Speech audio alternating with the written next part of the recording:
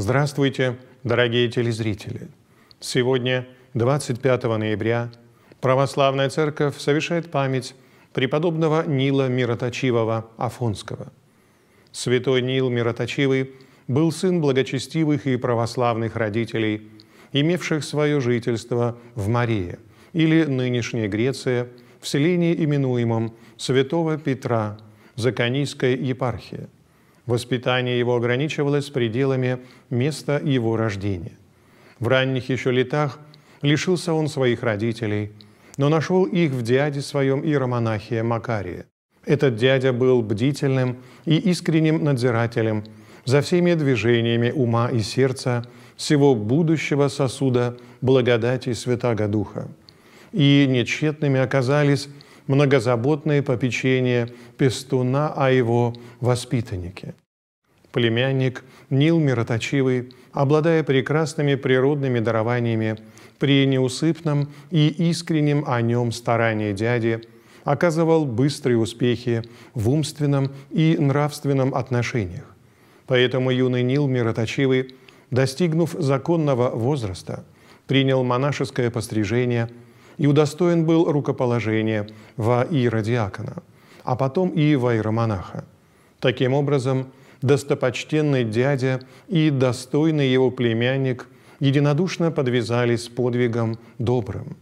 Но сие высокие и девственные души, будучи уязвлены пламенной и всецелой любовью к присладкому небесному жениху, во славу его возгорели желанием подвигов больших найдя настоящее свое место пребывания недостаточным для осуществления такого пламенного своего желания, они удалились из своего Отечества и пришли на Святую Афонскую гору.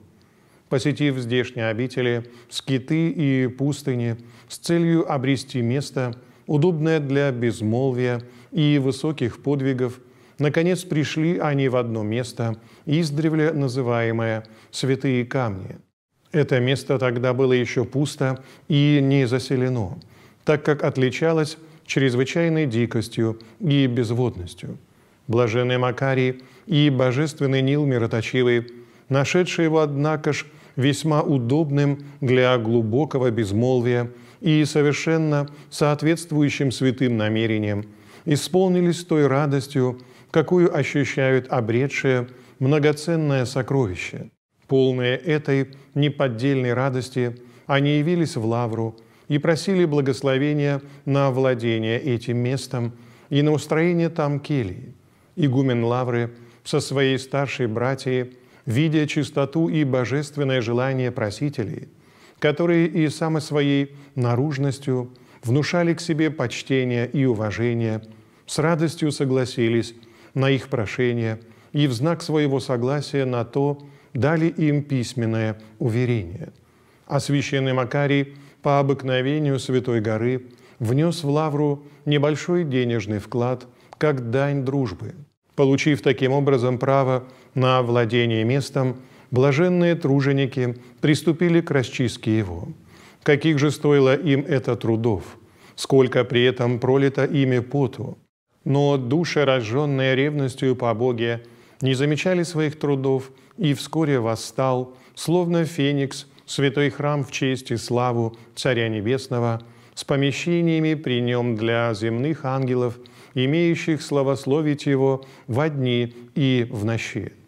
Скоро по устроению келий божественный Макарий мирно почил обузе от бремени праведных трудов своих, сделав племянника своего наследником во всем и достойным преемником и правителей келии. После всего блаженный Нил мироточивый, более и более разжигаясь пламенем любви к виновнику своего бытия, желая совершенной неразвлекаемости в занятии высочайшим предметом своей любви, стремясь, так сказать, слить свою любовь с привечной любовью, находит и это место не совсем соответствующим святым стремлением пламенной его души.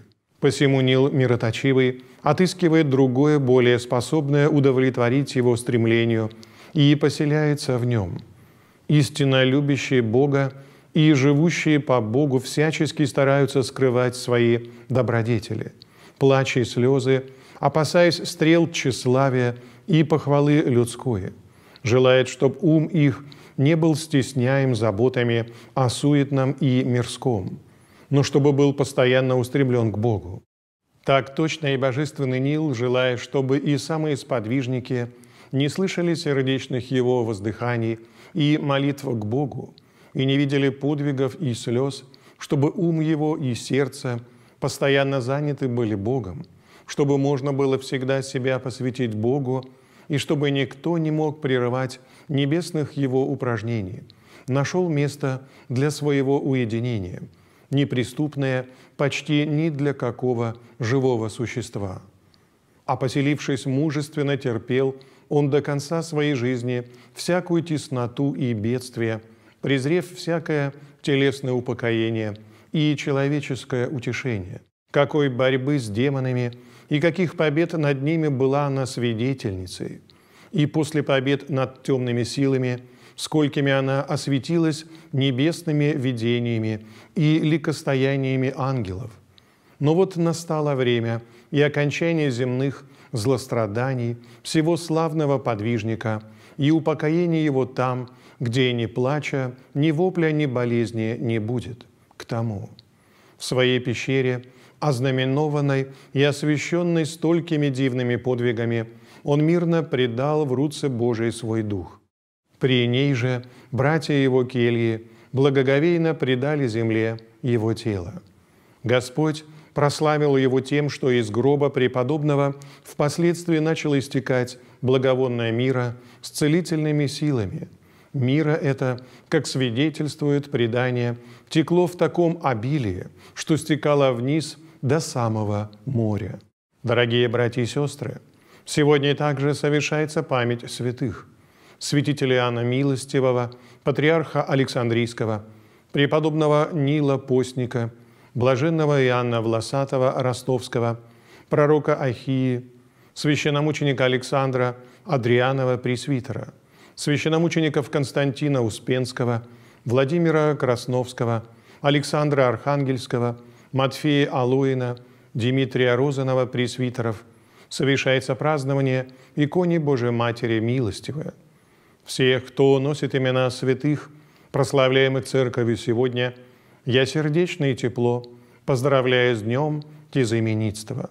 Будьте Богом хранимы, многое вам и благая лето.